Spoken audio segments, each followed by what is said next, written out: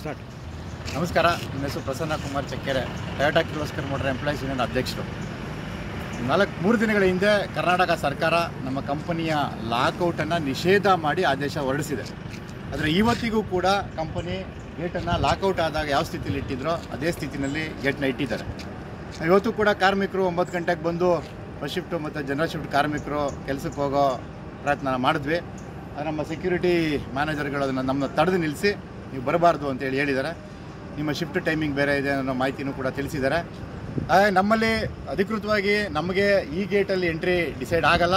ನಮ್ಮ ಎಂಟ್ರಿ ಏನಿದ್ರು ಒಳಗಡೆ, ಅಂದರೆ ಇಲ್ಲಿಂದ ಒಂದು ಮುನ್ನೂರು ನಾನ್ನೂರು ಕಿಲೋಮೀಟ್ ಮೀಟರ್ ಒಳಗಡೆ ನಮ್ಮ ಟನ್ಸ್ಟೈಲ್ ಗೇಟ್ ಇರುತ್ತೆ.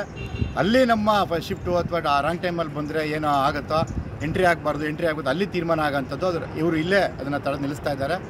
ನಮಗೆ ಇನ್ನೊಂದು ಅಂದರೆ ಲಾಕೌಟ್ ಆದೇಶನ ನಿಷೇಧ ಮಾಡಿ ಸರ್ಕಾರ ಆದೇಶ ಹೊರಡಿಸಿದ ನಂತರ ನಮ್ಮ ಆಡಳಿತ ಮಂಡಳಿಯವರು ಮೂರು ನೋಟಿಸ್ ಹಾಕಿದ್ದಾರೆ. ಒಂದರಲ್ಲಿ ಇನ್ನೂ ಒಂದಷ್ಟು ಜನರನ್ನ ಸಸ್ಪೆಂಡ್ ಮಾಡ್ತೀನಿ ಅಂತ ಹಾಕಿದ್ದಾರೆ. ಇನ್ನೊಂದರಲ್ಲಿ ನಿಮಗೆ ಕೋವಿಡ್ಗೆ ಸಂಬಂಧಪಟ್ಟಾಗೆ ಸರ್ಕಾರ ಹೇಳಿದರೂ ಕೂಡ ನಾನು ಯಾವುದೇ ರಜಾ ಕೊಡಲ್ಲ ಅಂತ ಹೇಳಿದ್ದಾರೆ. ಇನ್ನೊಂದು ನೀವು ಮೊಬೈಲ್ ತಂದರೆ ಮೊಬೈಲ್ ಕಿತ್ಕೋತೀನಿ ಅಂತೆಲ್ಲ ಹೇಳಿದ್ದಾರೆ.